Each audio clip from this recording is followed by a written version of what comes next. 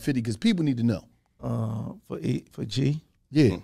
man. Um, I think I got on the G in the during the pandemic. I was at home. That was the first time actually I ever been in the house like three or four months straight. So all I'm doing is looking at YouTube and watching shit and seeing shit. But um, y'all know Nigel, right? Y'all know Nigel. Yeah. So, and Wild Giant. Yeah, My so, man. so Nigel hit me one day and he like, yo, uh, I think he texted me like, yo, hit me. I, I got something I want to speak to you about. When I hit him, he was like, man, it's this artist from uh, this artist from uh, Kentucky. Named Gee. He hard. I just feel like he fit what you're doing over there. And I'm like, man, just send me the music. You know what I'm saying? So when he sent me the music, I think he sent me like three videos and a couple songs. And this nigga was so hard. I'm like, God damn, this nigga Yeah, hard. yeah, you know what. I'm saying? So I like just listened to him for like 48 hours straight before I even got back to Nigel. I think I'm just listening to him, listening to him. And I did some kind of a little different than I normally do. Cause we got A and R's and all this shit. We got like like this ain't just no like just for the record, like we're a real label. Like we got. A and R's, we got every department, right? So normally, you know, the normal uh, A and R can find an artist, or I send the music to A and R. But but Gee was so raw that I sent them to my brother. I don't normally send the music to my brother. You know what I'm saying? Because but Gee was talking so much. Uh, you know what Gee be talking. Yeah, he about. talked that shit. Gee that shit was just so like I sent it to my brother first and I'm like, listen to this nigga tell me what you think. And he give me back he like, that nigga hard. Like that nigga talking it. You feel me? What was when I first heard it? Was it? But you get? Did you get it like that? When when I first heard him, I could see it. I pictured the whole like he visualized the, the way he rapped. I could visualize that shit because I knew it was just real. Yeah, yeah, yeah. I mean, you know, when you, when you you know if you Yeah, know, you if know. you know, you know. You know what You I'm saying? When you, you you can tell in the in the tones and in the pain Mm-hmm. and in the um in the dialogue of how you say certain things if Mm-hmm. if you if you um you live this shit. Yeah. You know what I'm saying? So um so yeah, it went from there after I sent the music to my brother, I sent it to then I sent it to the A and R, but I was already fucking with it. I hit uh Nigel back. I'm like, yo, put me on the phone with with, with bro ASAP. So I think that next day from when I hit Nigel, or the same day, we was on the phone. So we on the phone and we, you know, me and him talking and, and you know, we we had we, we talked for a minute. You know I'm saying? The shit we was talking about, he telling me about what he was going through like actively in Kentucky at that time. And um I was like, yo, when it was the pandemic, I'm like, I need to get in front of you though.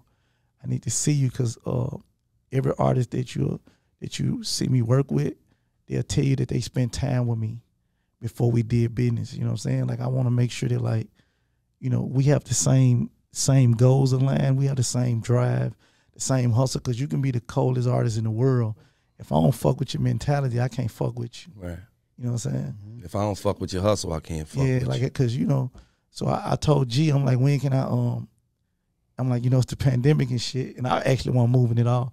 Like it's the pandemic and shit. So when can I? Uh, we got to figure out what day when this shit slow down, when we can get together. And bro, like shit, I come out at you tomorrow, some shit like that, or where you gonna be at? So like even little shit like that, let me know like what type of nigga he was. Like I ain't no like sit back nigga and wait for shit happen. I'm gonna go get the shit I want. I'm gonna go do the shit I want, and that's how I move. So I, when I seen them say this, it's little signs like that already made me fuck with them. Mm-hmm. You know what I'm saying? Then um, I had a video, actually the recession proof video. Yeah. If you if you go back see that recession proof video, um, Got everybody in there. that shit was like, and they weren't even playing like that. Some some had came up in Atlanta, and we was all out there, and everybody. I noticed I seen everybody posting their cars and shit. I'm like, damn, everybody out here with their whips and shit. I'm like, yo, tell them everybody bring their cars to the house. I'm gonna shoot a video, like the next day. You know what I'm saying? Mhm. And Gee was out there. My brother hit me like Gee said he gonna pull up to the video, and Gee pulled up. If you if you if you go back and watch him in the video, him and his homies all gonna pull up with the chains on and shit. Pull out the money in the video. You know what I'm saying? But I'm I'm shooting my video, but I'm watching them. You know what I'm saying? Yeah. I'm watching. I'm like, yo, I fuck with this nigga. He one of us. Mm-hmm. You know what I'm saying? So I just the music was already there, and then you know, one or two times being around him, I think he came to Miami and fuck with me. He pulled up at the studio, two, three Wraiths, done a couple of Rolls Royces and shit.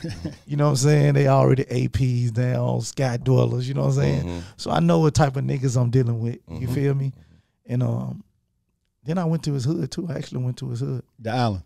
Yeah, I went to uh Kentucky, and I went to his hood. You know what I'm saying? Like I like to, like I like to feel this shit. I like to know what I'm dealing with. I like to know who I'm dealing with.